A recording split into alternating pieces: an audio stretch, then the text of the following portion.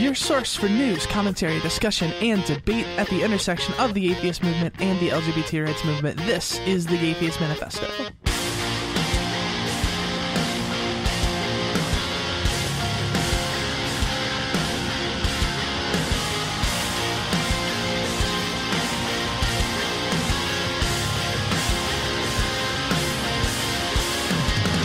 From Answer Media, this is the Gaytheist Manifesto. I am your host, Callie Wright, flying solo this week because Ari's schedule is dumb. Kind of like they are. Ooh, burn. Still got to open the show with a joke because that's how we roll. Anyways, this week we're going to have a very interesting conversation. It's a sort of diversion from the things that we normally talk about. Um, Casper Rigsby is uh, one of the folks behind uh, Atheist Republic and is a former member of the Aryan Nation. Do I have that right? Uh, that is correct. All right. Well, welcome back to the show. First of all, thanks for coming. Oh yeah, of course. Always glad to do uh, any of these, especially talking about this subject.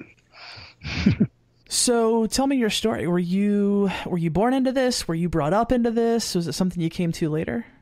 Um, no, I, I actually grew up in a uh, fundamentalist Christian home, and there there was always always a level of, of subtle racism. Um, I live in Tennessee. I grew up in Tennessee, so so there's always been a, a level of subtle racism around us. But when I was 15, we moved down to Georgia, and after that move, I uh, I was having a lot of trouble fitting in with the people at school and just fitting in in general and I uh, I met some guys at high school that were involved in the Aryan Nation um, through their families and such, and uh, they kind of you know took me under their wing. It, it's a lot like a, a, lot of a lot of um, young inner city youths get involved in gangs, um, where they're they're looking for a family, they're looking for um, acceptance, and uh, there's there's people there that accept them um, so it's very easy to fall into.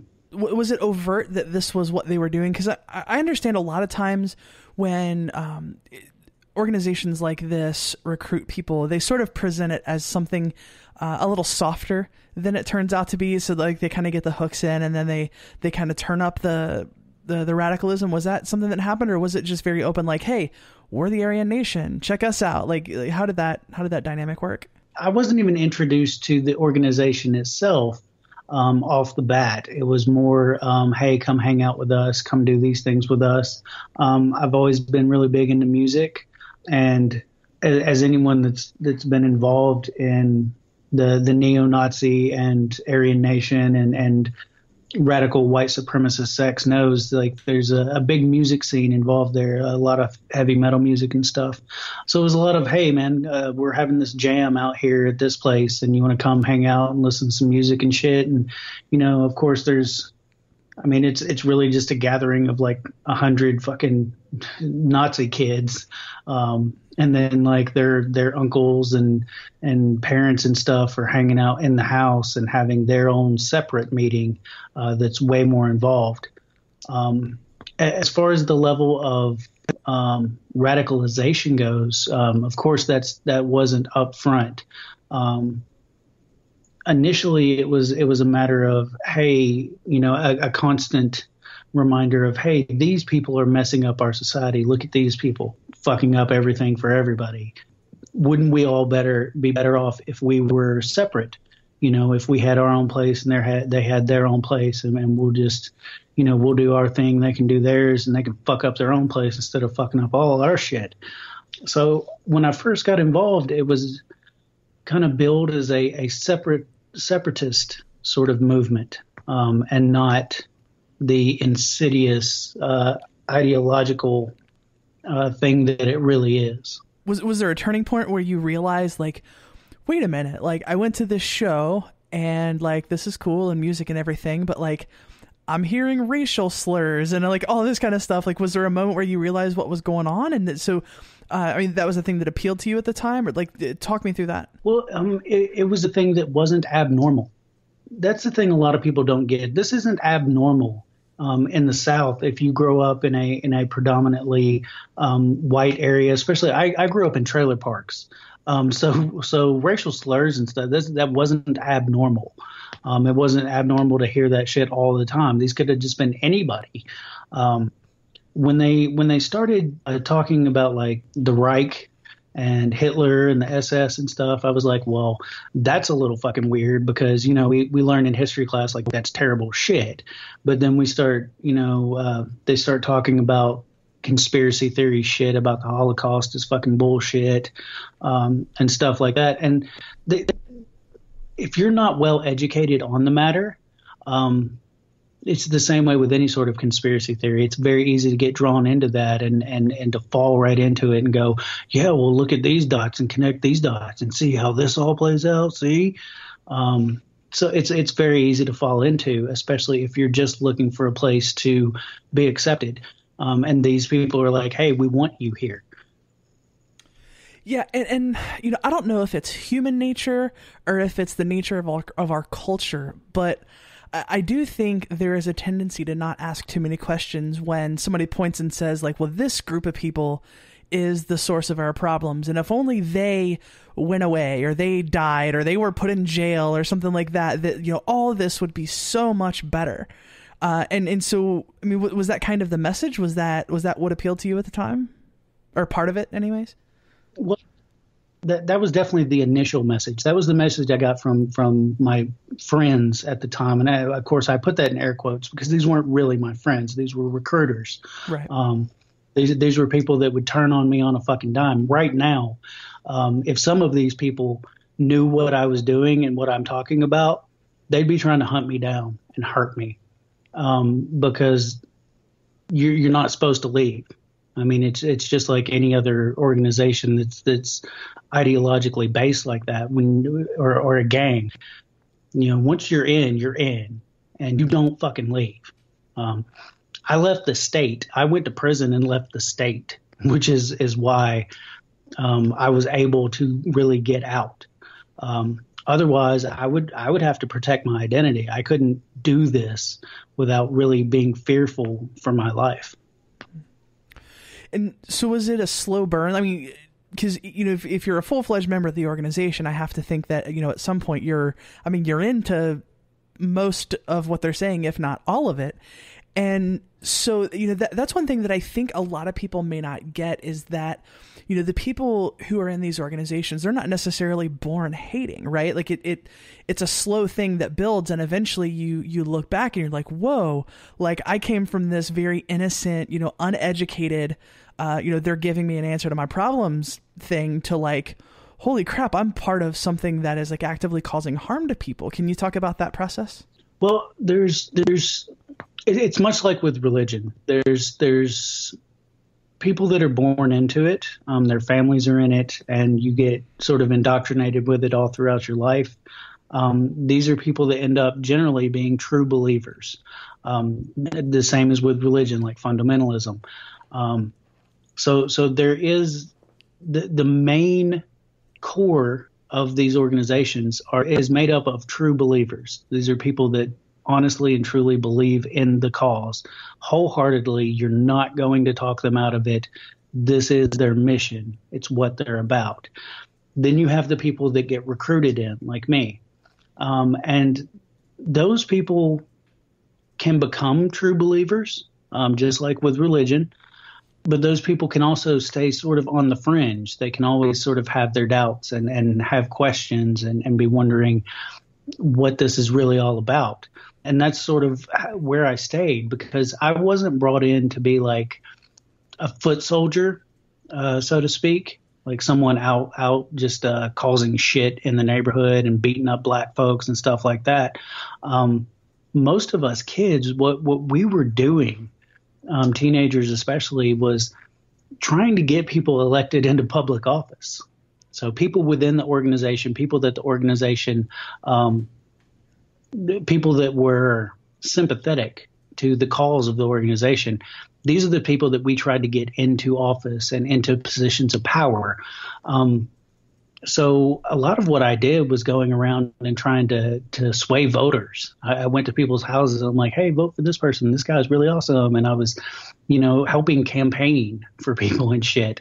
Um, and and so it's a, it's a weird sort of thing because you you you know we've all had somebody call our house or knock on our door and hey you should vote for this guy um, because he's awesome for this reason and that's most of what I did was to try to help these people with that.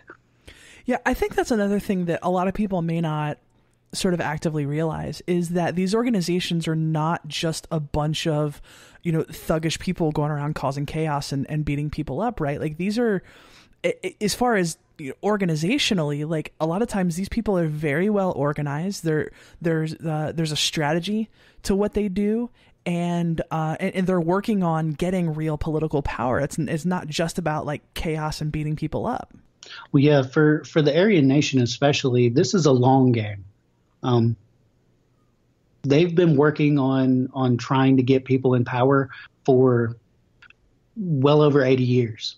Um, and, and they've been slowly succeeding. There, there are people all throughout your local and state governments, damn near in any state you live, that are involved in either this organization or another white supremacist organization, or they are sympathetic to the movement. Um, and and it's it's pretty insidious, really, because these are these are the the people that they want are especially sheriffs. Um, sheriffs are a perfect target for this group um, and groups like them because when you control the police force through the sheriff, uh, you have a lot of fucking leeway. You get away with a lot of shit. They they want local government, uh, mayors, governors, people like that state representatives if they can get that high, which they they've managed to do, especially in this last election.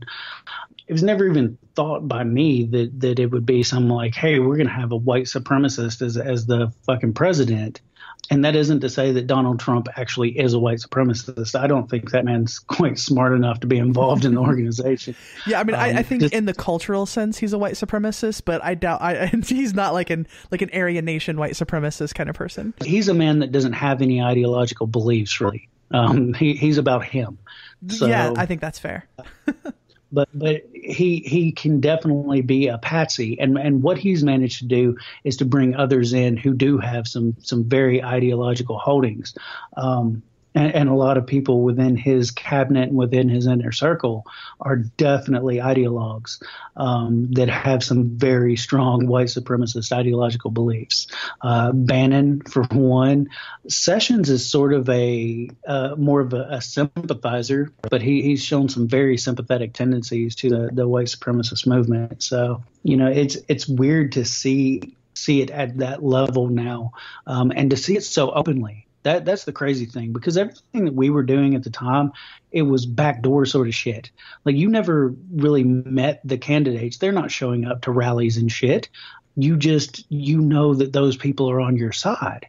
And and so you're trying to help them get where they need to be so they can help you so it's it's weird to see it so out in the open and just so normalized now. I'm like, oh my god, you be like people just don't understand what's happening right in front of their faces, and it's it it drives me crazy. Really, it's just it, it's insane that people don't understand the sort of threat that we're under. The more that this is normalized, that that's the worst part of it. Normalizing white supremacy is absolutely abhorrent and that that's why I'm so upset with uh, especially people within the atheist movement who honestly either unwittingly normalize this shit like Sam Harris did by talking to Charles Murray or or people that knowingly are trying to normalize this shit. Um, it's just it's I, I don't know. It's it's it baffles me because there's no logical rational reasoning behind it. Yeah. um, you so, know. talk to me for a second about you, you touched on it a little bit ago. You said you know most of your most of your function was to go around and uh, promote candidates. I mean, was that was that the day to day? I mean, was was this something like you know after school, let's go get together with the Aryan Nation folks and like meetings and that kind of stuff? Like, what is? I, I'm trying to imagine what social life is like? Like like what's your day-to-day look like when you're a member of this organization? Like i mean do you just see it as like another club that you're part of or is it like an integral part of your life or how does that work? For for me because i i i got deep into it but not so deep that it was overwhelming. Um it, it was kind of like a club or something, but a, a, lot of it, like I said, was going to like little rallies and stuff, and going to little um, makeshift concerts um, out in somebody's fucking cabin somewhere, you know, um, because you, when you're during during an election season or moving up towards one, that's when you're, you know, kind of on the front lines, you know, robocalling and doing stuff like that. But then, um, you know, the rest of the time you're pretty much just hanging out you know, doing normal shit. These, these are your friends. So you're hanging out with your friends, you're drinking and, you know, just doing normal shit. It's, it's day to day life. Um, only with a, a very fucked up tint to it, especially living in Georgia. I mean, I lived right outside of Atlanta. So I went to a high school that was at, at least half African American, if not more. Um, so it's like, you know, I go to high school and like day to day just kind of sneering at people and stuff. And like, you piece of shit. I, I fucking, I can't wait till you're goddamn out of here and like we can get our shit back together. Um, so it was, it was honestly, it's just, it's day to day life. But then, you know, you've got this sort of weird, fucked up thought process in the undertow that, that's always there, just like nagging at you a little bit. Yeah, and I think that points out something really important that I feel gets missed in the conversation surrounding these issues is that, you know, the people who are doing this stuff, they are not some fringe like other group that's operating in shadows somewhere, you know, 50 miles outside of town, right? Like these are the people who are in our schools and people we grocery shop with and like our soccer coaches and people on the PTA, like um because I think it's you know we have this tendency to think like like okay that is so abhorrent there is nothing resembling that in me. I am not a hateful person. I understand that racism is a thing. I want racial justice. I understand my privilege. That kind of stuff. We, we get so wrapped up in that that we basically wrap all of these people in a tent and push them off to the side as if they're the other. They're not amongst us. They're not us right? And I think that's a really important thing to realize. Like, no, these people are us. Uh, it, it, it's moms and dads and PTA members and teachers and police and politicians. Can you sort of talk about that? Um, yeah, it's it it really is it really is your your everyday average folks. I mean, it's it's really the people that you run into every day, especially if you live somewhere like I do, like here in the South. Um, you you run into these people all the time. I, I live about 45 miles or so away from birthplace of the KKK. Um, the KKK was actually established in Pulaski, Tennessee. So I mean, it's it's right down the street. You drive there in about an hour. Um, so it's it's weird because I go to Walmart. Um, I see neo Nazis and skinheads at Walmart every day, and I see them because I know what I'm looking for. A lot of people don't see them. They they walk right by them, and it's just like, oh well, you know, that's just a person. What is it about them that sticks out to you that people don't notice? Oh, there's there's so much, so many, so many different things. Um, uh, clothing, for one. Um, there, there's a lot of little little signs that you'll see. Um, skinheads have have gone from like straight bald heads. Um, you know, they they've gone to uh, sort of the Richard Spencer style haircut, um, which I actually still keep just because it looks good on me. Um, you know, so the, the almost Nazi looking haircut. But I mean, there's there's little things and looks more than anything looks that they give to other people. Um, you'll see them in line, like at Walmart and stuff, and you'll see them cut their eyes over to somebody, and it's you can see hatred boiling under their skin, just pouring out of their eyes. And and I, I know true believers when I see them, but it's different than someone that's just like, oh, I don't really like being around these people. It's more of a if if I had the ability, I would fucking kill you right here on the fucking spot. And and there's there's really people that feel like that, and when you know what you're looking at, you see it written right on their fucking face. It's like a billboard. Some some people uh, are are in the the same position as me. I actually have white supremacist tattoos on one of my arms. Like the whole fucking arm is sleeved out with white supremacist paraphernalia. nobody notices that except for police officers who have been trained to look for it and other white supremacists. So I get approached by these people quite often. It's like, hey, buddy, what's up? And I'm like, yeah, I'm not with you anymore. you know, I just I how does that conversation go? Oh no, I, I've I've been approached with just like you know wanting to strike up a conversation, and I, I have to shut it down. It's an immediate no. We're we're not discussing this. Um, I'm I'm not involved anymore. I am not with that anymore. So you can keep that to yourself. Um, I have not had to get into any fistfights or, or verbal or, or, physical altercations, but I've gotten into some verbal altercations um, on, on, occasion. So it's it's pretty weird. It's it's far more weird when police officers pull me over or something and they notice them because it's immediate. Because my my tattoos I got during prison, um, so it's automatically they look at them and they say, "Oh, that's prison ink," and then they look deeper and they go, "Oh, wait, you have SS bolts all over your, your fucking arm.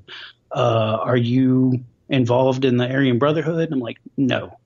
I was part of the Aryan Nation. I was never in the Aryan Brotherhood but I did get these in prison. What What's the difference um, between the two? I actually thought they were the same thing. It's just ignorant, ignorance on my part. No, the no, it's it's a common it's a common thought too. Um, the Aryan Brotherhood is actually just a prison gang uh, that was started by oh, okay. within prison. Um, so they're not actually affiliated with the Aryan Nation. Uh, the Aryan Nation itself is actually a Christian identity group, um, and they are a recognized domestic terrorist organization, recognized by the FBI as a domestic terrorist organization in this country. But the reason they are allowed to continue to exist and thrive in this country is the same reason the KKK is allowed to exist and thrive in this country, even though they are a recognized terrorist organization. And it's because of religious freedom. So um, the the Aryan Nation's ideology is built on the a Christian identity. One of the one of the the foundational groups within the Aryan Nation is actually the Church of Jesus Christ Christian. So if you ever hear somebody say that they're in that church, they are 98% positive to also be in the Aryan Nation um, because they're almost one in the same. So it's it's wrapped around a Christian identity, um, which is another thing that that was made it so easy to fall into because I had already been raised in a fundamentalist Christian home um, with fundamentalist Christian ideals. So it was easy to take these Christian ideas that they put forward to, validate the the racism and the bigotry and the prejudice, and and just let that escalate. What started you down the path toward leaving? it's it's odd. It's it's much like much like why I left Christianity. Um, I g- got too deep into it. Um, I studied too hard. I looked too deep. Um, as it's like when you, I, guess metaphorically, when you look in the face of a demon, and, and, you realize that you're actually looking in a mirror, and that demon's you. Um, when I when I started really digging into the the organization and what the end game was, I came to understand that the end game is world domination and utter genocide of all undesirables. That is the that's the ultimate goal. And undesirables uh, meaning anyone who's not white. Um. Oh God, not just. Well, and, and I'd white. imagine like gay people and etc. Oh, okay, so I'm I would be considered a race traitor um, because I've I've left the movement and because I uh, stand up for uh, LGBTQ rights and for um, equality of of the races and sexual equality. Um, because I stand up for those things, I'm considered a race traitor. I am hated more than a Jew, a black person, or a gay person, or even a trans person. I'm the top of the list of people that need to be exterminated, according to these people, because I'm enabling them. I'm gotcha. fighting against our own people to give equality and um, a chance at a better life to ultimately what are other undesirables. Um, so, so I'm the worst of the worst, according to them. You know, then it's it's you know it's Jews, black people, homosexuals, trans people, you know, every everybody that's not white, of course, is on right, the list. Right. But then there there are several white people. Um, a, a lot of people within the atheist movement are people that would be exterminated immediately yeah. if they were able to. Was it coming to the realization that that's what it was about, and that didn't sit well with you because? Um, you mentioned initially that to you it felt more like you know this is this is about separatism, and was it realizing that it wasn't actually about separatism and that the end game was, uh, you know, getting rid of all the Indes- I mean, it was that the realization that made you think like, wow, no, this isn't this isn't comfortable to me at all. Yeah, yeah, it's I you know deep down within my core uh, at, at some level um, I've always been a humanist, and it's something I didn't understand or embrace earlier in my life, mostly because I didn't understand it. So it wasn't offered to me uh, to be embraced. You know, I like lack I said, of knowledge and fun- lack of education, kind of thing. Yeah, I, I, grew up in a fundamentalist Christian home, so like humanism, secularism, atheism, these were not things that were ever discussed, that were ever talked to, that were ever offered as an option to what I'd always known. Um, but my, my path to leaving Christianity was much like my path to leaving white supremacy. It was a matter of, you know, digging deep into these things and going, I'm not okay with that. Like that just does not sit right with me. I can't, I can't possibly justify, you know, going to such lengths. Um, I can't justify those feelings. I can't justify um, taking part in those actions. Like, what if what if they get to the point where it's time to actually take action? Can I actually go out on the front line? Am I am I going to murder people over this? And and I I couldn't. That that no, that wasn't going to happen. I couldn't I couldn't accept that. So I actually left the organization. I ended up getting deep into drugs. I, I, you know, basically had walked away from all my friends. Um, I, I actually walked away from my own family. My family moved back to Tennessee when I was uh, fixing to turn 17. I told them to go fuck themselves.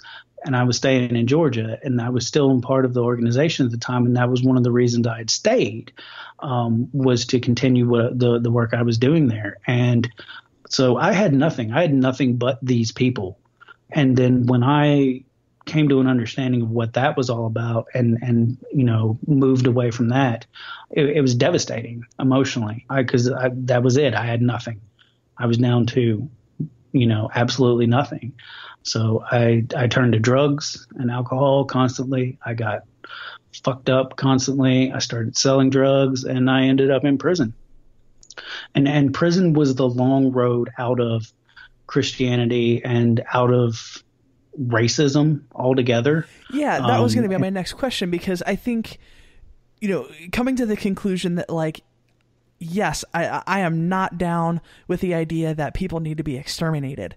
It's it's still a pretty long way to go from there to anti-racist activism. So yeah, t- talk to me about that process. Um, well, yeah, I uh, I spent um, nearly three years in a uh, close security prison in Georgia. Um, and for people that aren't familiar with, with the terminology of what you know the uh, different levels of prison are, there's uh, minimum security and then uh, medium security and then close security, which is like one step below maximum. Um, and unfortunately, the reason I had I had such small time, but I was in a close security prison, which is I, I was around lifers and people that had 30, 40 year sentences and people that had multiple life sentences. Um, I, I, spent my time around murderers and uh, rapists and and just hardcore motherfuckers, you know, that it like real fucking criminals. Um, and I wasn't. I wasn't one of those at all. You know, I was just a guy that uh, had a fucking drug problem, and it was easier to uh, pay for my dope by selling dope. So I could get what I needed by selling it. Um, it's much easier than having a real job. So because I have a heart condition, um, they had to put me in this particular prison because it had the best medical facilities of any of the other prisons. So, you know, just by virtue of, of having a medical condition, I ended up with three years sitting around guys that were lifers. You know, that's where they fucking lived for the rest of their lives. And and of course I'm in Georgia, so it was predominantly black folks. I would say it was almost three quarters of the inmate population there was black folks. Um, and I, some of my best friends, the, the, the, some of the, the coolest people I met while I'm in prison, and that's weird to say. You know, I'm surrounded by criminals, people who have done horrible fucking shit um, to to be where they are.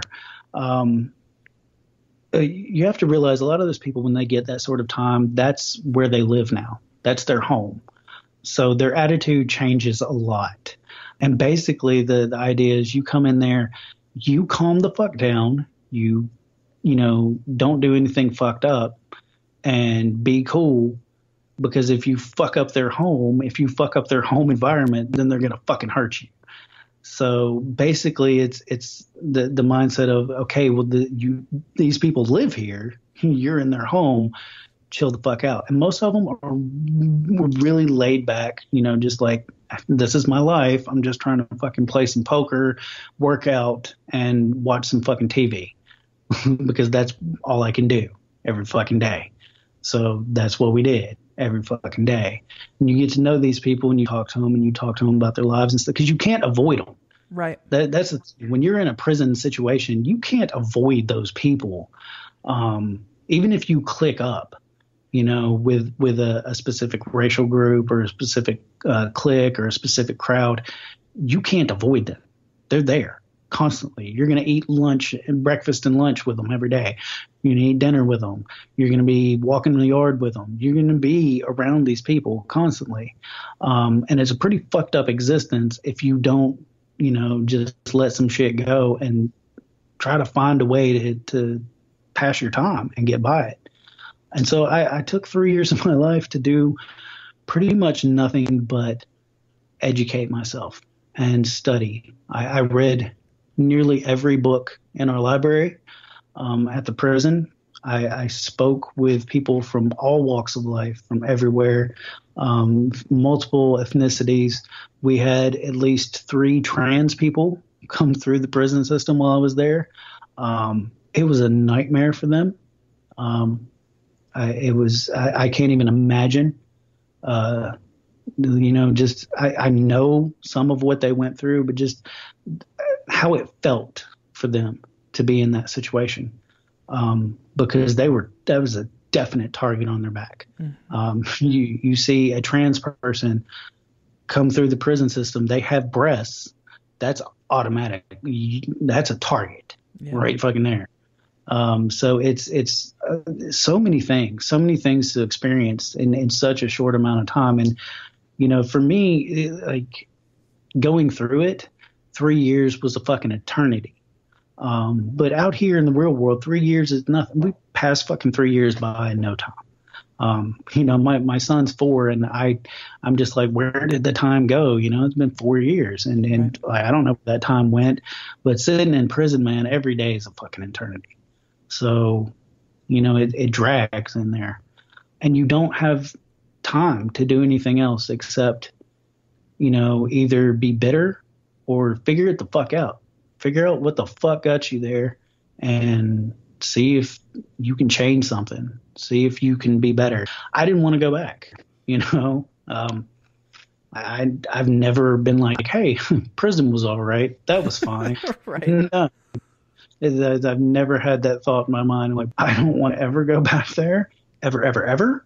Um, so I got to do something different. Before I actually went into prison, uh, when I was in the county jail waiting to go, I had a an old dude in there, and you know we talked all the time. And he he looked at me one day, said, "Man, you know, if you want more of what you've been getting, keep doing what you've been doing.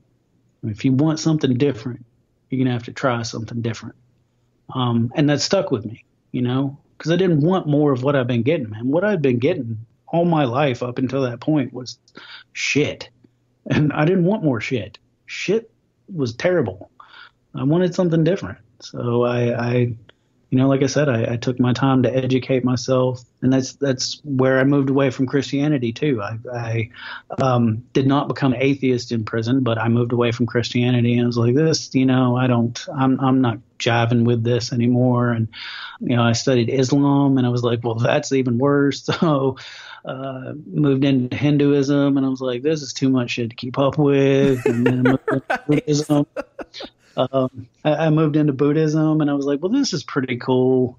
Um, I like a lot of the ideas here, so I'll hang with this. And then it was like, well, you know, the whole God thing is just kind of bothering me. So I went with the agnostic thing for a while, and then I met my wife before we got married and stuff and you know we went through church phases and I took her to Catholic mass and stuff like that and I was like you know just trying to understand more of these ideas and she was along for the ride and then she just kind of looked at me one day and said you know I think you're a fucking atheist because I don't think you believe in any of this bullshit and I was like hmm you know what I think you're right I, I, yeah, I think you hit the nail on the head. I don't think I believe in any of this bullshit. It all sounds like, like horseshit.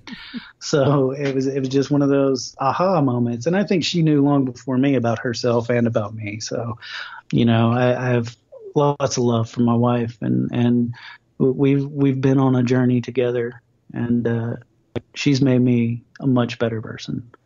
A lot of what I do is because she has believed in me that I could be a better person and be something more than I uh, more than I grew up as and, and more that I've been in the past. Talk to me about regrets. Um, I know I, I personally try to be a person who's like, you know, what happened in the past is what happened, and um, I can maybe try and figure out some positive stuff from it, but like dwelling on it doesn't accomplish anything. But like, I've also never been to prison, and I've also never been actively involved in a racist organization. so like, maybe that's a privileged position for me to take. Is so is is that past something that you dwell on? Um, I try not to. I actually, you know, when I, I, I battle with depression just as a, a, a personal disorder. I have clinical depression, so I battle with that a lot. So it's hard for me not to dwell on things. But a lot of times when I'm at my lowest, I look back on, you know, the the times of just partying with my friends and getting fucked up and all that shit. And I'm just like, man, that was so much easier. Like I have to actually face shit every day now. Like I have to face all the bullshit every day now. And like I look back on a lot of that stuff and I'm like, man, it's so much easier. It was so much easier just to get fucked up and ignore it. But I, I have, I've come to terms with most of it. But I, I have one moment and I guess it's a, it's an extended moment. It's a moment that took place over the course of about a year when I was in high school um, that I don't think I'll ever get over. It's my my one major regret, and uh, it's honestly a hard thing to talk to with with you, um, and especially on on this podcast. But um, when I was in high school, I actually was involved with uh, several other people, and we we bullied um, a young homosexual kid in the school for over a year straight. And he ended up killing himself his junior year. And that that's the one. That that's the thing that eats me. Um, and not even so much that that I was a part of that and that I contributed to that. Um, the fact that I don't remember his name, um, because he didn't matter as a person to me at that time.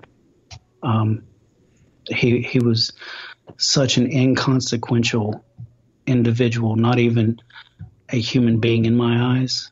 Um, and to have somebody do that and to be able to look back on it and go, I just wish I could remember his name so I could, you know, at least in my own mind, say I'm so I can't even apologize in my own mind because I don't know who I'm supposed to apologize to. That's how inconsequential and meaningless they were to me. Um, and that's that's the one thing I can't get over. Um, I, I've done plenty of horrible shit, but there's always been a way for me to try to atone for it and make up for it. And uh, I can't fix that one. I, can't take it back. I can't apologize. I can't make it right. Um, and no amount of, of work that I do ever will atone for it. Um, that's a, a very hard thing to accept that you can do something that is so horrible that you can't ever make it right. There's nothing you can do. Um,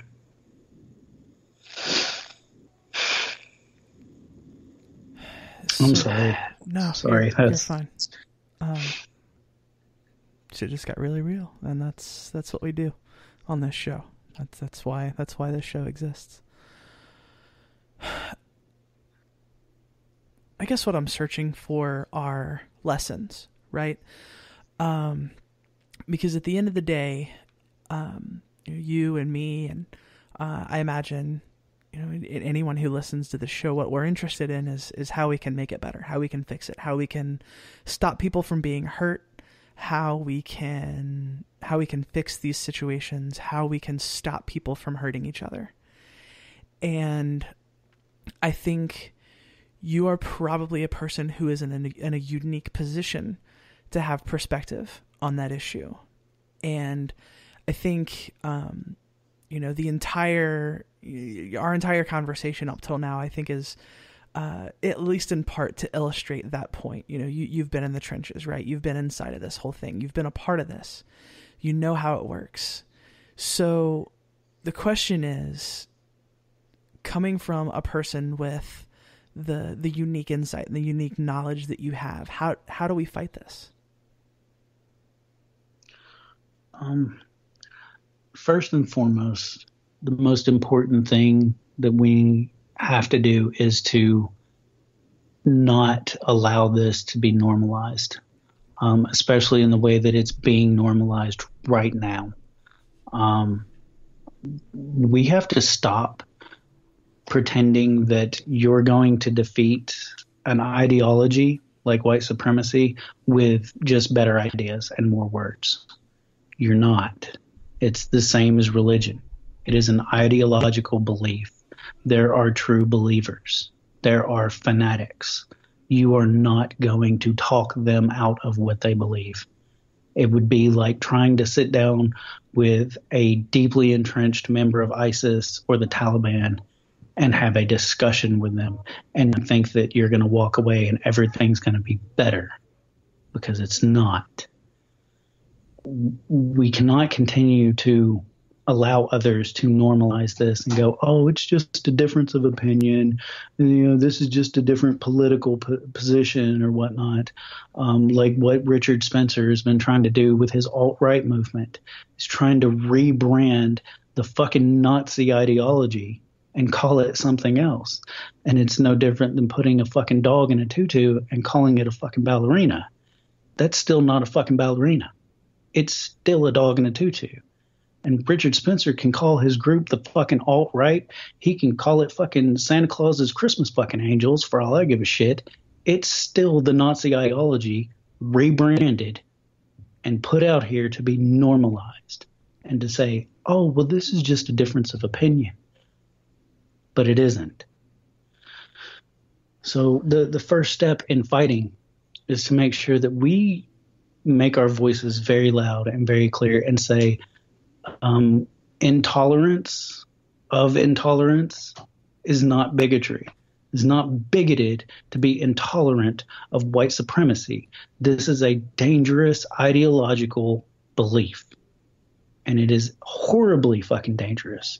And there's proof every day in the news, every week, you're going to see more and more proof because it keeps getting normalized. People people are getting hurt because of this. Um, the the latest attack in Portland is an illustration of the escalation of this normalization because a man actually believed he could get on a train in Portland and harass two Muslim women and, and possibly would have attacked those two women if it were not for three men that stood up against him um, and, and stopped him from harassing them um, and, and potentially stopped him from harming them. And two of those men lost their lives because they stood up. And what pisses me off about this is that was a train full of fucking people. Full of fucking people. There were only six people involved in the incident. You're telling me that there weren't another fucking 10, 12 people in that fucking train car? Where was everybody else? Are they calling the calling the cops? You're on a fucking train. Everybody on that fucking train should have stood up against them. Every last fucking one of them.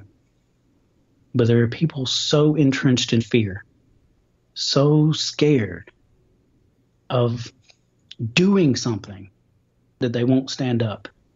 And that that pisses me off. Because all it takes is for people to be apathetic. All it takes is for people to look the other way and say, "Oh, that's some fuck shit. That's not my problem. I'm going to look over here." For terrible shit happen to other people, and we have to stop doing that. Um, those of us that actually give a shit, we have to stop doing that. We have to stop being apathetic and turning a blind eye and saying that's not my problem because it's all of our problems. Anybody that actually has a, a sense of efficacy um, and, a, and a sense of humanism and humanity, it's your fucking problem. If you're on that fucking train with this guy, it shouldn't be three people standing up against him. It should be a whole fucking train car telling him to sit the fuck down or we're going to beat you down and you will stay down until the fucking cops pull you out of this goddamn train car. And it should be every fucking day. These these people, when I was involved in the organization, you didn't come out and go, "How fucking Hitler" in the fucking streets. You didn't run around waving goddamn Nazi flags. You didn't fucking do that because you would got the shit kicked out of you by large groups of fucking people. But we've gotten to a point where it's just like, oh well, we can't be violent. Like we, we we've just got to talk about these things because you know we can we can fix everything with words. Well, fuck, you can't. You can't fix everything with words. When people are marching through the streets with fucking Nazi flags and flying the fucking Nazi salute, it's time to say no. Foot down, just no. And that's the thing that that kills me because a lot of times even if you show up just to say I oppose you, like people aren't okay people aren't okay with that. Like I mean we don't even have to rise to the level of violence or civil unrest. I mean, if we show up in large numbers just to be a presence and to drown them out, like even that is somehow unacceptable. Like we have to we have to answer this hateful and destructive ideology with polite conversation. Like, are you fucking kidding me? Like, I, I would love for someone to point to any point in history where that's actually been a thing, right? Like, people point to, uh, you know, the, the civil rights movement in the 60s. And it's like, okay, sure, maybe they didn't have, you know, bats and bricks beating the shit out of people, but there was most certainly civil unrest, you know? And people were saying that that, that's the thing. Some groups did have bats and brick, bats and bricks beating the shit out of people. They had to to protect yeah. their own fucking neighborhoods. Well, and, um, and, and, and I think that's the point that so many people miss, because people who are sitting in privileged positions who don't actually have a personal stake in this, uh, you know, even if for the most part their heart's in the right place, what they they have the luxury of seeing this as an ideological divide right? They see, you know, someone like Richard Spencer speaking at a college and protesters showing up. What they, they, they see that as simply an academic battle of ideas with no actual consequences in the real world. And that people aren't actually getting harmed by this. And the people who are showing up to protest or to shut the place down they're not there to change Richard Spencer's mind. They're not there to meet better ideas or to meet bad ideas with better ideas. They're there to stop him from fucking hurting people. Like that's the, the conversation that we, we've talked about this concept on the show a couple of times. And it's so frustrating to see people frame this as uh, you know, as the opposition, it's automatically our position to work on changing this person's mind. We have to ignore the actual harm that they're doing to people, whether by inciting violence or simply further marginalizing them, you know, advocating political positions that further marginalize them. Um, you know, we have to meet that actual harm with polite conversation. And when that continues to not work for decades upon fucking decades, that more polite conversation is the answer. And I'm not here for it. People are fucking dying. People's quality of life is being taken away. These are not academic ideas. And uh, I just, I, I think about all of the opportunities, like you said, where people had the chance to stand up. Even people who ideologically think what this guy was saying and doing is reprehensible but didn't think that enough to stand up. Or, you know, even not, you know, getting up and getting in front of the guy and, and putting your body on the line, but even just speaking up and saying, no, this isn't okay. How many otherwise good people do that every day?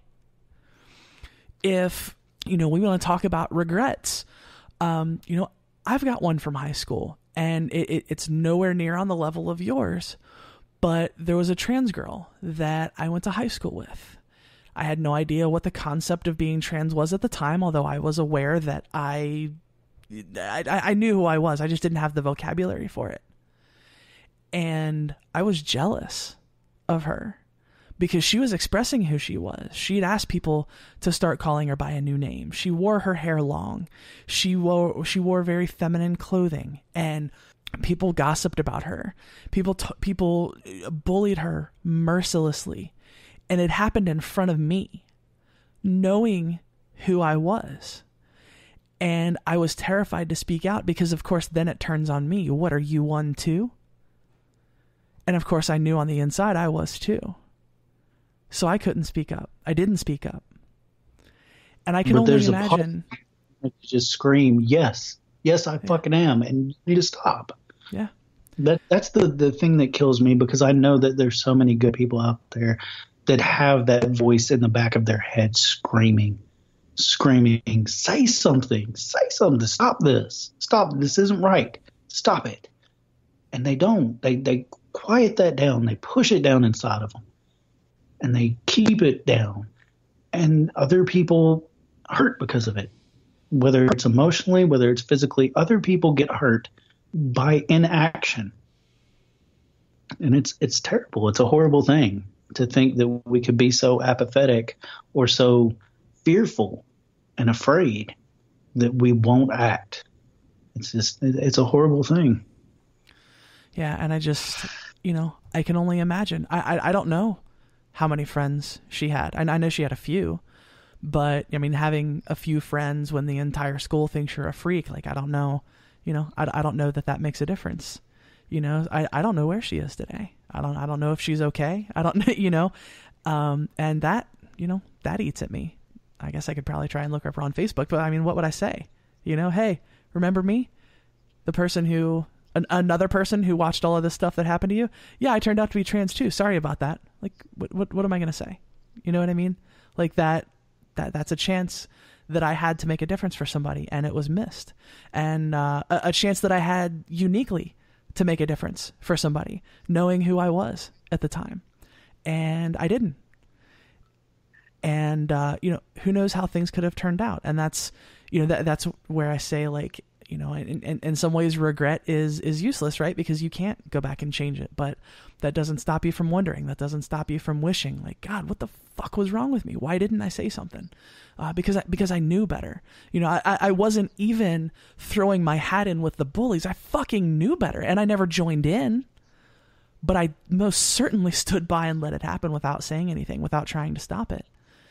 And you know, how many times throughout my high school career did I do that? I mean, I certainly participated in bullying of one variety or another, but, um, you know, it, it was, it, you know, how many times did I contribute to that? And where are those people now? And all we can really do, you or I, person listening to the show, um, all we really have is being better and knowing better and saying, you know what, the next time I see this happening, I am going to stand up and say something. I'm not going to let this go unchallenged. Um, you know, I, I used to be one of those people that, you know, when the Westboro Baptist Church would show up somewhere, I would be the one saying, like, well, if you show up to counter protest, you're just, you're giving them the attention they want because that's all they want is they want attention. And if you ignore them, they'll go away. And I, I know how wrong that was. And it, and it took reading an essay on the internet. I don't even remember where it was. I've spent hours trying to find it again and I haven't been able to and it was from a guy who every time the Westboro Baptist Church shows up in his town, he puts on one of those silly looking fucking horse head masks from Halloween and runs around dancing, just making a mockery of them. And he explained why he does this. He said, Imagine being a queer kid, being a trans kid, being a, a kid who's non white in a car, driving past these people saying all of these awful and hateful things and seeing that there was no one there to say no this isn't us. This isn't what we stand for. What message does that send to you as a kid? You see all of this awful stuff happening and you see no one opposing it. What does that say to you? And that was a big turning point for me. That was uh, you know, one of those, you know, whenever someone posts those, you know, what's a big thing you've changed your mind on to like, you know, prove that you're intellectually honest enough to change your mind. Uh, that's a big one for me. And that's why, you know, when and where I'm able, I will always show up. And when and where I'm able, I will always speak up. And that doesn't mean, you know, be reckless and, you know, somebody's got a gun out, put yourself in front of the gunman. You know what I mean? Like that's not, uh, you know, that, that that's not what we're saying here. We're not saying, necessarily put yourself in danger, put your life on the line. But you know, you don't have to do that to be visible as the opposition, right? Um, you know, it can be as simple as not laughing when someone tells the racist joke at work, or um, you know, saying, "Hey, that's that's not cool," when someone's talking about the trans person who just came out at work. Uh, we all we all need to be those people so, uh, because we never know what it's going to mean to the other person in question. Um, and I, I don't want to live with any more of the knowledge that someone was hurt and I didn't do what I could do to help them. Um, wow. this is not where I expected this episode to go, but I'm glad it went there. And I, I, that's that's really the the most important thing, honestly. Like we we have to do something. Um, I, you know, Dan and I, Dan Arel and I, um, we we've talked on on his show recently, um, and we've talked before in the past. Um, because Dan Dan is straight up said, "Hey man, you see a fucking Nazi, punch him in the fucking face," and uh, yeah, he's gotten a lot of flack for that. And then I, I get a lot of flack because I support Dan in his position to say that. And yet people were like, oh, will you advocate for punching fucking Nazis in the face? Well, no, I don't. I don't advocate for that at all. There's a reason I don't advocate for violence from other people. And it's because I'm not going to do the very thing that I'm against, which is inciting violence from others. But here's the thing. I will punch the shit out of a fucking Nazi. Me, personally. I'm not going to tell anybody else to do that. No, I'm not going to tell anybody to be violent. Me, I'm fucking violent. I will get violent as shit. That's why I don't go to a lot of protests and stuff like that. Because I, the first time somebody does something stupid, yeah, I'm going to get violent. I'm going to get violent as shit. That's me. That's what's in my heart. And I'm not going to deny that but I don't advocate for it. I don't advocate for other people to do what I feel like I should do because not all of us are made to do everything. You know, not everybody is made to punch people in the face. Not everybody has that in them. But everybody has it in them to do something. Like you said, even if it's just speaking up, even if it's just being the person that doesn't laugh at the joke, like you said, do something. Don't sit back. And when you see somebody do something and go to a level that you wouldn't go, don't automatically belittle them. Don't automatically go, oh, well, look at you just stooping to their level. Um, I'm sorry, honey, but we're all at their level now. They've drug us all down here. This is where we live. That's the level we live at right now. And everybody not doing something before we got here is why we got here. Because people stopped doing stuff. People stopped speaking. People stopped caring. More to the point, people started normalizing it and going, well, hey, let's just have a conversation. Let's just talk about it. We, you know, we got Laci Green right now fucking trying to have conversations with fucking um, anti-feminists and MRAs and shit that have sent her violent fucking messages about how they fucking want to rape and kill her. She's, She's dating like, one. Yeah. For fuck's sake. we, should, we should talk to them. Let's debate them. Let's have a conversation. Um, you're gonna get yourself killed, honey. like, no offense. I don't. I don't think you're like not intelligent or something, but I think you're not thinking this through. like, you, I, I, you know, I, I think she's. Fo- I think she's following the money. Is what she's doing. Um, oh yeah, more than she's she's she's, uh, she's privileged and she's following the money and she sees she sees what gets the hits on YouTube and she sees Dave Rubin's Patreon account and uh, so I, I have I have zero doubts that that's what's happening. Um, that, that that's the only explanation that makes sense to me. Uh, yeah, I, yeah, that's a whole that's a whole other can of worms. Well, Casper, well, I uh, a conversation to have with somebody else. right? Yeah, that's another hour long show. Well, Casper, I uh, I appreciate your time, and uh, and, and I appreciate you being willing to go uh, to go as deep as you did, uh, and, and get as personal as you did, because I think I think those are the stories that really uh, that, that stick with people and that really make a difference from people. And those are the kind of stories that I always hear from people that are impactful to them. Um, so I, I, appreciate you being uh, being open enough to, to tell that story and uh, and and just for your time and, and for your story in general. Thanks for being here. Uh, my my time is always available, and uh, you know one thing I, I embraced with becoming an atheist is honesty, and uh, it's honesty to the point of brutality. Um, you, you've got to be honest with yourself first, and then you need to be honest with everybody else, and then that means, you know, owning owning your mistakes and being completely honest about them. Not that it helps to talk; it doesn't. It, won't help right. anything, but it helps other people. Right. You know, like you said, somebody's liable to hear that, and and maybe they'll maybe they'll think about it. And that, my friends, is going to do it for this episode of the Gaytheist Manifesto. Definitely want to say thanks again to Casper for his time, for being so vulnerable and, and open and insightful. I definitely learned a lot. You can find the show on Facebook at facebook.com slash the Gaytheist Manifesto. You can email us at the Gaytheist Manifesto at gmail.com. I'm on Twitter at Gaytheist Callie. You can find the show on Twitter at The Gaytheist. And a moment of silence for the absence of Ari's outro.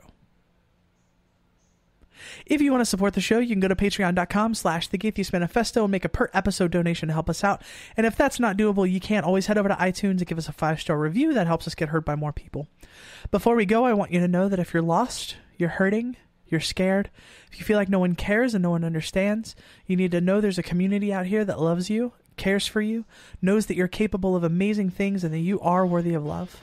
If you're struggling, please don't be afraid to reach out. Until next time, friends, this is the Gaytheist Manifesto.